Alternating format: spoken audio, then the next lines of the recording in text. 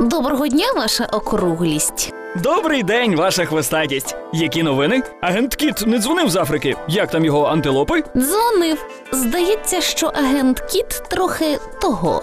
Е, чого того? Ну, в нього наче кулька в голові. Ролик вистрибнув з шариків.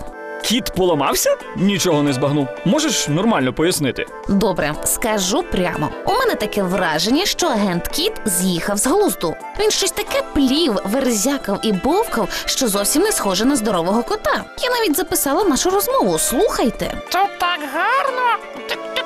Тільки спекотно.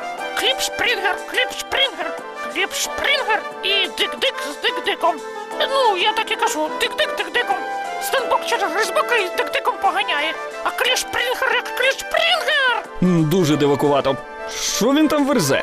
Маячня однозначно потрібно забирати кота з Африки. Він там перегрівся на сонці. Камеро, назбирай м'яти, меліси і ромашки. І в Африку будемо напувати котика заспокійливим.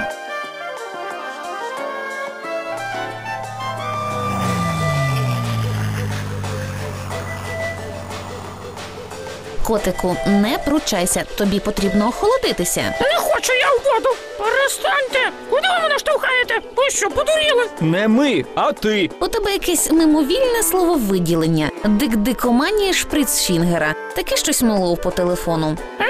Я все зрозумів. Я ж тобі про антилоп розповідав. Заспокойтесь. Ходіть до екрану, я все поясню.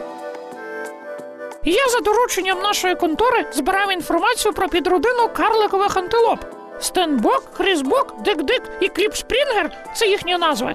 Живуть у південній і східній Африці. Дик-Дик одна з найменших антилоп. Її висота сягає всього 30 сантиметрів. Інша карликова антилопа Кліпшпрінгер мешкає на скелях, височинах. Вона завжди ступає лише на край копита, тому виглядає так, наче ходить навшпиньки. Перед тим як тікати, Кліпшпрінгер чомусь завжди високо підстрибує на місці.